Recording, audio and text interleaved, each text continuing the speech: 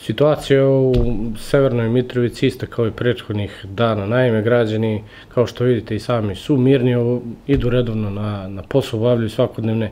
aktivnosti, ali naravno primetno je da su vidno uznemireni, jer apsolutno na svakom koraku tema su registarske tablice i registarske oznake kao jednostrani potezi e, Prištine. Tako da ono što mi kao politički predstavnici pokušavamo svih ovih dana, nedelja, pa možemo slobodno reći i meseci, jeste da održimo